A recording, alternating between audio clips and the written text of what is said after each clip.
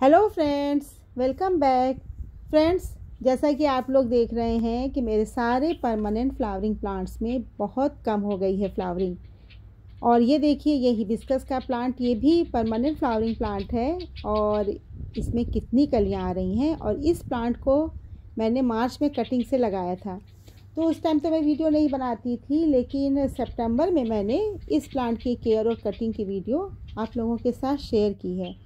इस पर पूरा गर्मी फ्लावरिंग हुई है और देखिए अभी भी कितनी कलियाँ आ रही हैं। तो इस तरह जब कटिंग से कोई पौधा लगाइए, उनमें फूल आते हैं, कलियाँ आती हैं तो बहुत खुशी मिलती है। और जब सीड से लगाइए तो और भी मज़ा आता है। देखिए, ये गौफलाना मैंने सीड से लगाया है। और इधर ये जो बोगनविलिया रखा है, इसको भी कटिंग से तैयार किया ये वाला बोगनविलिया भी मैंने कटिंग से ही लगाया है।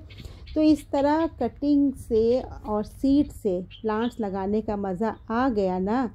तो फिर लगता है कितने सीड्स लगा लो, कितने प्लांट्स लगा लो। इधर जितने भी प्लांट्स हैं फ्रेंड्स ज़्यादातर मैंने कटिंग से तैयार किए हैं और कुछ सीड से भी लगाया है और कुछ मैं ख़रीदती भी रहती हूँ। अभी मैं दो दिन पहले नर्सरी गई थी तो कुछ विंटर के फ्लावरिंग प्लांट्स लाई हूँ।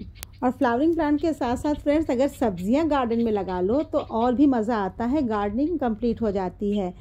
देखिए, छोटा सा टोमेटो कितना प्यारा लग रहा है। तो इस तरह आकर देखते रहो कि फूल आए कि नहीं, फल आए कि नहीं तो बड़ा मज़ा आता है और बहुत खुशी मिलती है। उसको आकर देखते रहो। और फ्रेंड यहाँ पर नौ महीने तो बहुत गर्मी पड़ती है तो बहुत ज़्यादा तो मैं प्लांट्स नहीं लगा पाती। गर्मी में तो मई, जून में तो पचास पचास तक टेम्परेचर यहाँ पहुँच जाता है। और लेकिन मैं लगातार कटिंग सीड्स प्लांट्स ये सब लगाती ही रहती हूँ। कुछ तो चलेगा। देखिए, मैं कुछ विंटर फ्लावरिंग प्लांट्स लेकर आई हूँ। ये है पिटूनिया और ये रेड कलर में है। वैसे तो पिटूनिया में वाइट पर्पल पिंक बहुत सारे शेड्स वाले भी आते हैं।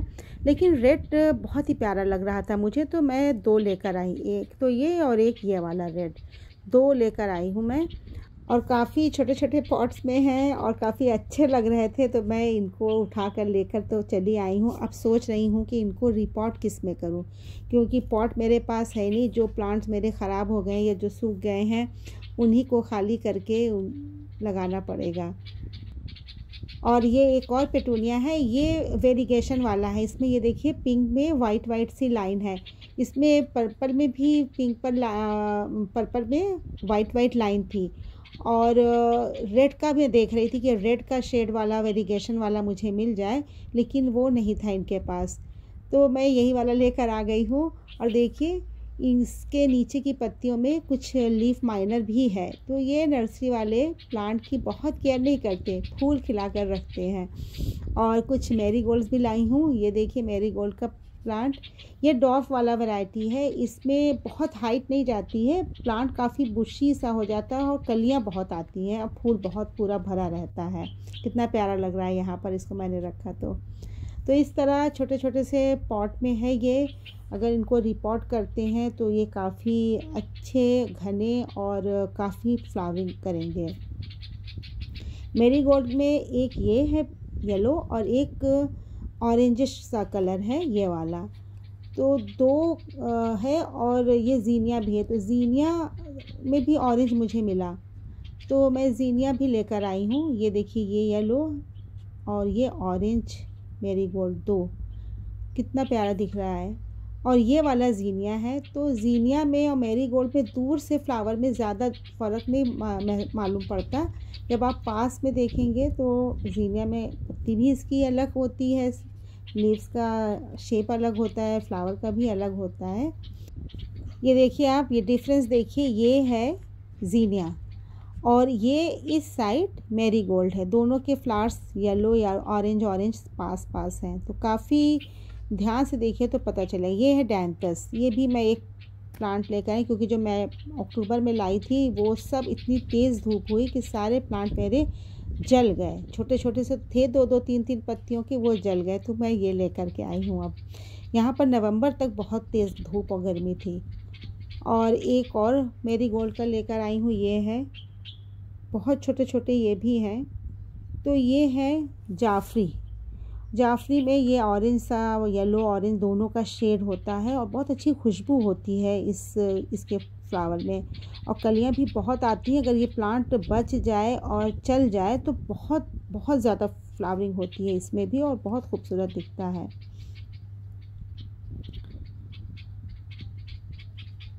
और एक, और प्लांट लेकर आई हूँ। ये तो मैं हर साल लेकर आती थी, लेकिन अब इस साल मैं, मुझे मिला नहीं, मैं रेड पर भी पिछले साल लाई थी ये क्रिसेंथेमम।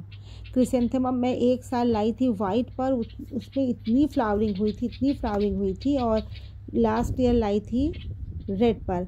इस बार मुझे रेड पर नहीं मिला तो मैं यही पिंक और ये लाइट सा पर्पल सा शेड है, इसी को लेकर आई हूँ। और फ्रेंड्स, इनके प्राइस मैं बता दूँ, ये क्रिसेंथेमम मुझे दो रियाल में मिले हैं और जितने पिटूनियाज हैं, वो सब 500 500 पैसे में मिले हैं और मेरी गोल्ड एक एक रियाल में मिले हैं और डायंतस भी मुझे एक रियाल में मिले हैं और जीनिया भी एक रियाल में मिले हैं। तो फ्रेंड्स, आज की मेरी शॉपिंग इतनी ही है। अगर आपको मेरी वीडियो अच्छी लगे तो प्लीज़ मेरी वीडियो को लाइक करिएगा और मेरे चैनल को सब्सक्राइब करिएगा। Thank you.